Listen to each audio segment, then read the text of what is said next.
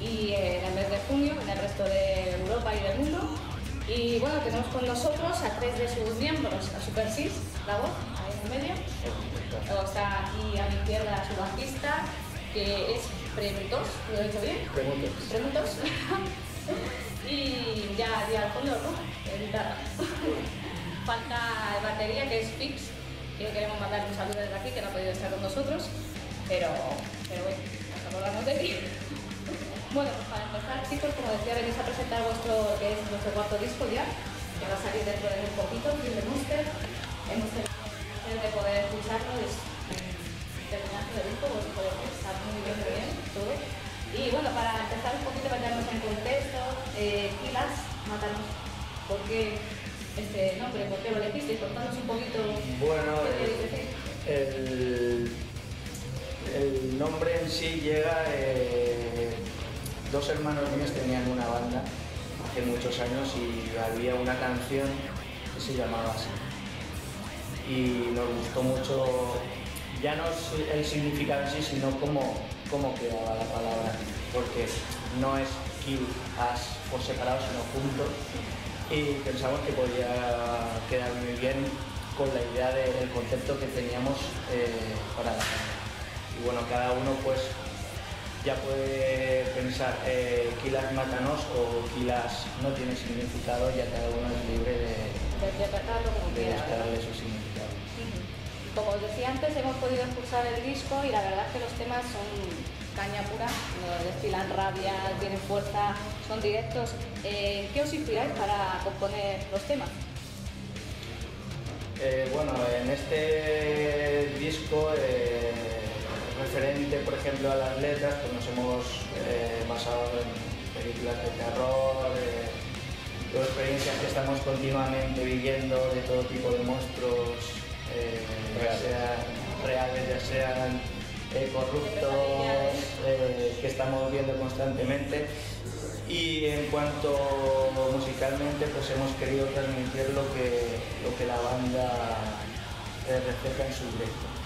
Queríamos hacer un disco que fuera eh, la banda en directo, que transmitiese pues, la fuerza que tiene, la banda.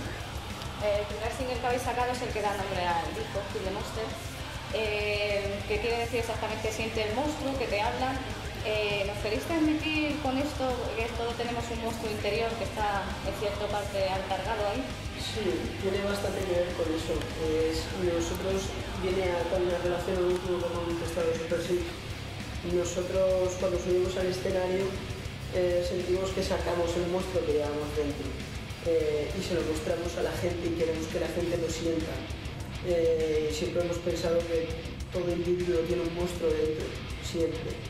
Lo que pasa que normalmente la gente socialmente siempre tiene un tipo de conducta. Nosotros tenemos la suerte de encima del escenario poder liberarlo, ¿Puedes sacarlo? Sacarlo, sacarlo. poder sacarlo tranquilamente, mostrarlo al mundo y que encima a la gente le pueda llegar a gustar. Entonces viene un poco a relación de eso, de siente el monstruo. En este disco queríamos soltar, lo que soltamos en directo, soltarlo dentro del disco eh, y que la gente sienta el monstruo y por qué no que la gente también se sienta libre de sacar el monstruo que lleva dentro en el momento en el que vea oportuno. Eh, ya que hablamos de la gente, un poquito así de la sociedad, pero particularmente de vuestros seguidores, ¿qué perfil creéis que tienen vuestros fans? ¿Cómo creéis que es un seguidor de Kilas? Como he puesto lo primero. Eso para empezar. Vale, vale, vale. Eh, no sé, puede haber de todo tipo, desde eh, gente que le guste metal extremo, eh, metal industrial, vertientes del hard rock, eh, rock escandinavo, música gótica. Pienso que eh, también gracias a nuestra, nuestra puesta en escena, que es muy llamativa y tal, pensamos que, que se puede llegar, llegar a muchos, a muchos puntos. Dentro de un grupo como vosotros, mm, hay en el disco un tema que habéis titulado Holy Bible. ¿Qué queréis transmitir con él? Bueno, ¿Cuál es es más o menos eh, Ese tipo de letras es más el rollo que tenía, por ejemplo, las letras de, de Minnesota Washington, que es un rollo más apocalíptico, eh, máquinas versus humanos y tampoco es por Bible que queramos ahí transmitir nada religioso. Si intentamos siempre que cada uno pues busque su propia interpretación. Desde el año 2006 que sacaste vuestro primer LP hasta ahora, 2013, con Fin de Monster, ¿cómo habéis visto vuestra evolución? ¿Os habéis visto más maduros conforme ha ido pasando los años y habéis ido sacando discos? Sí, se nota, nosotros lo hemos notado y, y es, es algo que, lo, que lo, lo vas percibiendo con el tiempo a la hora de ponerte a componer nuevos discos. Vas teniendo más o menos la línea siempre la misma, pero vas teniendo unas inquietudes un poco diferentes y te vas notando un poco más, un poco más maduro porque el trabajo y la trayectoria te va dando experiencia y te va enseñando un poco por cómo hacer las cosas. Y entonces se nota un punto de madurez que en nuestro caso hay grupos que cuando tienden a madurar lo que hacen es tienden a reducir un poco la caña. En nuestra madurez ha sido totalmente Al lo contrario. Nuestra madurez es que nuestro último disco es el más cañero de todos, pero es- ha sido nuestra manera de evolucionar con la que nos sentimos a gusto y sí, nos sentimos la verdad que más maduros musicalmente eh, que cuando sacamos nuestro primer EP de Complexas. Tenéis una colaboración además bastante especial de Mecánica Las con Statiles en el tema Bastards, si mal no recuerdo. ¿Cómo ha sido esta colaboración y grabar con él?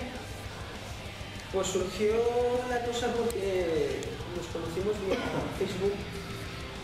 Una de las pocas cosas buenas que tiene Facebook es eso, que, puede- que puedes llegar a contactar con músicos de todo el planeta. Exactamente. Y, eh, y, nada, tuvimos la suerte de que a él le gustó mucho Killa, le gustó mucho la banda desde el principio y hubo un, contacto mutuo muy bueno y, hemos hecho amistad.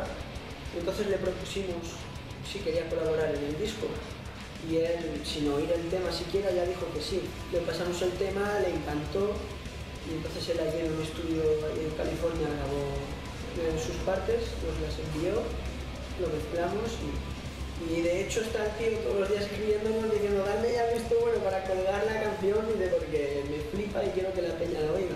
Sí, la verdad es que sí, merece la pena. Y nada, surgió así la cosa. Y otro de los temas que tenéis es Fuck and Roll. ¿Qué nos queréis decir con esto?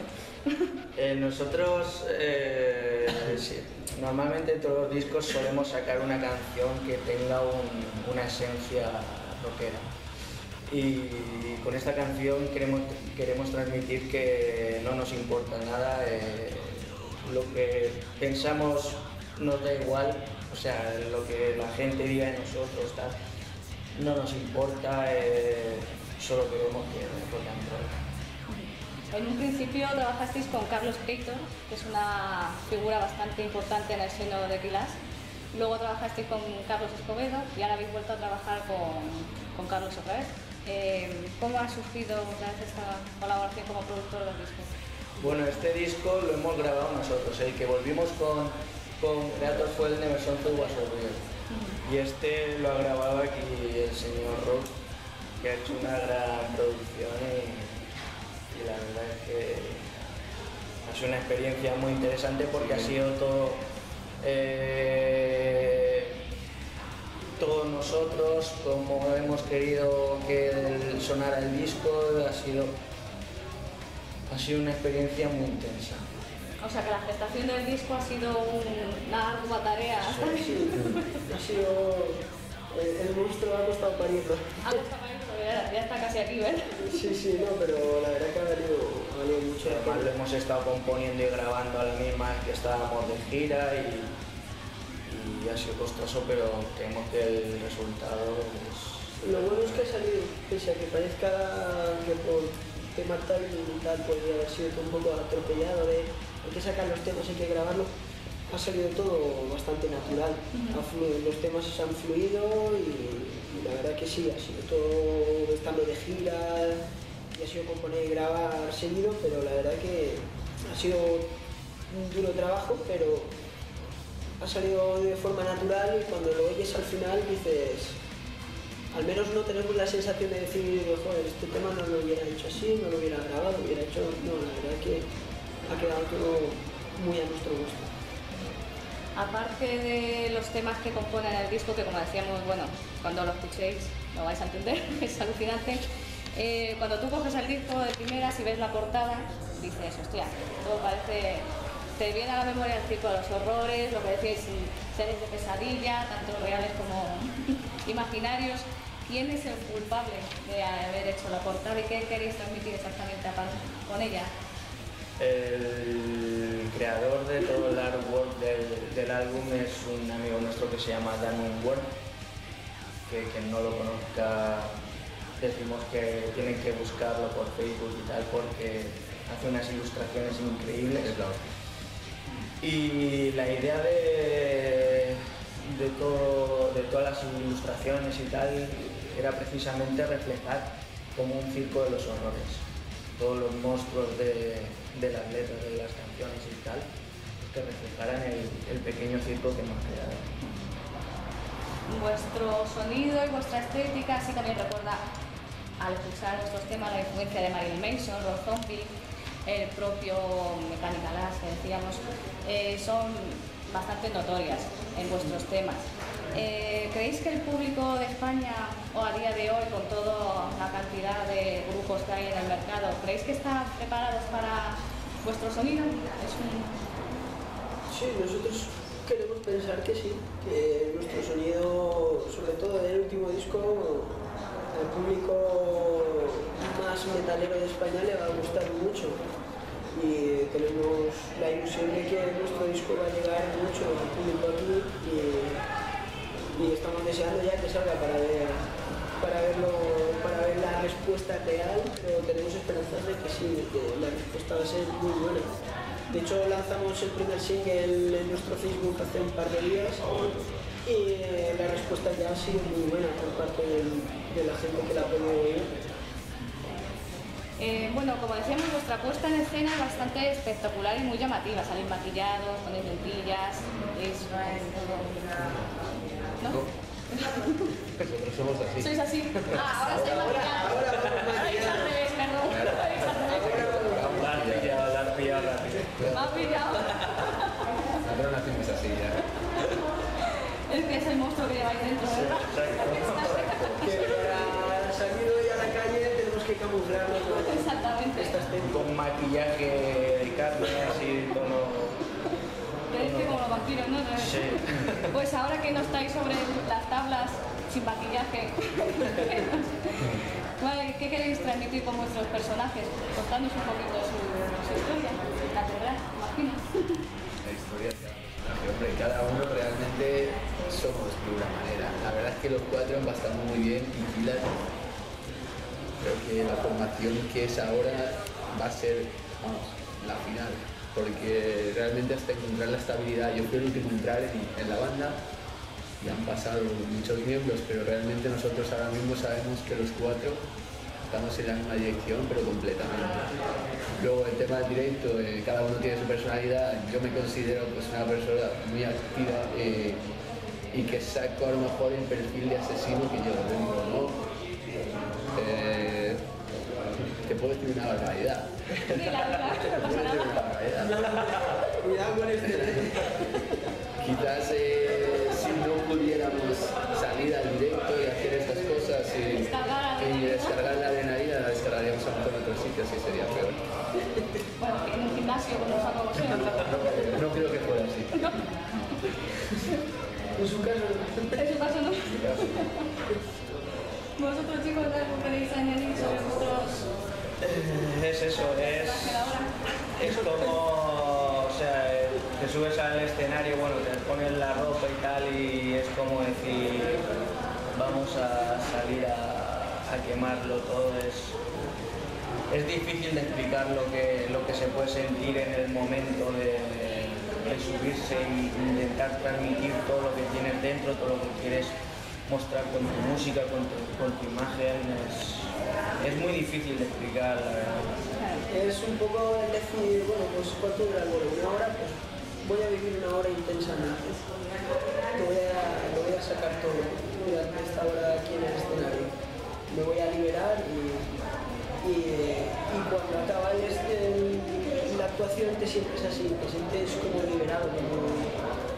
y en caso de premio pues viene muy bien porque si no le dieras esas descargas de liberación pues estaría igual encerrado. La Voy a gente, la gente habla mucho De de... hecho nuestro batería no está Por aquí. eso, eso mandado No, le, no le han dado el permiso, solo tienen un fin de semana y no se lo han dado. Tiene que aprovecharlo para promo ahora puede. La gente habla mucho de nuestro directo, de hostia, qué caña dais, tal, no sé qué. Y nosotros siempre queremos que, que la gente cuando acabe el concierto diga, hostia, pues sí que son como, Como dicen. como dicen que son. No queremos de, hostia, pues no son tanto como dicen. Queremos que se hable de nosotros lo más Otro de los temas que nos han gustado mucho del disco es I Am This Tonight, que para nosotros mm, sería el siguiente single. ¿Es así? ¿Hay posibilidad? Bueno, es que hay, varias posibilidades. Eh, Darkness of the Crypt, eh, Fuck and Roll. Es, es muy difícil, Forever and estamos trabajando en el, en el primer vídeo que se rodará en junio. No podemos decir muchas cosas porque no queremos desvelar, pero Será, será Field the Monster. El vídeo que hemos hecho ahora, el lyric video, ha sido en plan promocional para sacar, no colgar solo el tema, sino que pudiera tener un poco más de gancho. Pero va a ser en principio Field the Monster y luego pues ya. Respecto a Dead Tonight, pues es un, es un tema quizá más al rollo Never Something Was Real, un poco un ambiente un poco más gótico.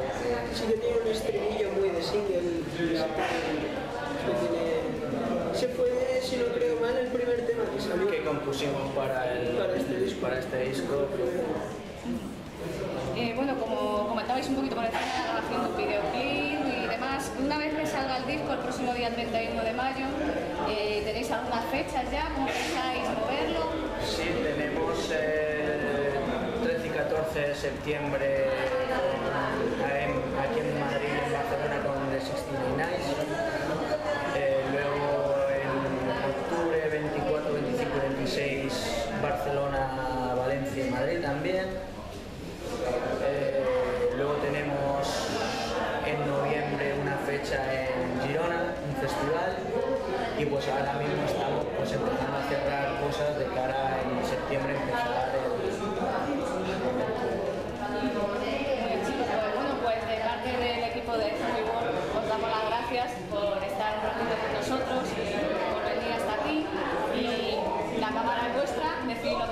que queráis.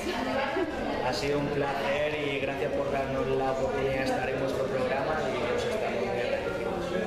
Pues ya sabéis, a partir del 31 de mayo sacan el monstruo.